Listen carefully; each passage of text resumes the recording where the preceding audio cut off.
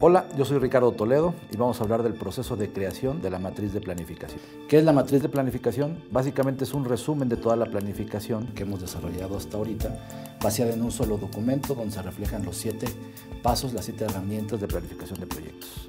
Es un insumo para el plan de ejecución plurianual y para el plan operativo anual, de los cuales hablaremos un poco más tarde y es un documento que nos servirá de base para el control y monitoreo posterior del proyecto, además de que es fundamental para la gestión y ejecución del mismo. El proceso consta de entradas, técnicas y salidas. Las entradas de la matriz de planificación son las siguientes. La estructura de desglose del trabajo o EDT, el cronograma, el presupuesto, la matriz de adquisiciones, la matriz de riesgos, la matriz de comunicaciones y la matriz de asignación de responsabilidades.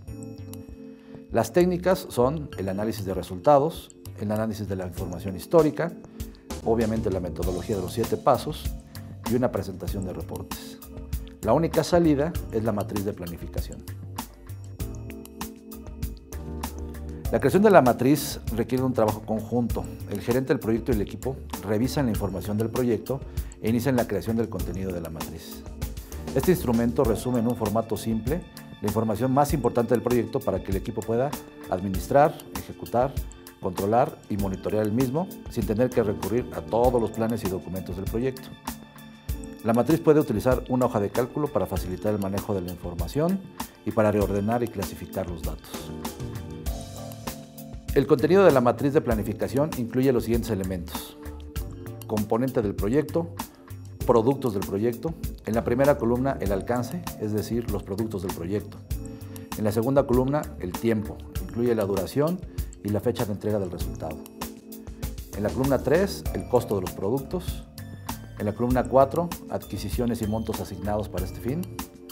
En la columna 5, riesgos, incluye el índice de probabilidad e impacto y la respuesta al riesgo. En la columna 6, comunicaciones asociadas con el resultado o el componente y finalmente la columna 7 con los responsables de los productos. Vamos a hablar de las características de los planes. Típicamente los proyectos de desarrollo se ejecutan a lo largo de varios años. El plan para el desarrollo del proyecto completo se le conoce como Plan de Ejecución Plurianual o PEP.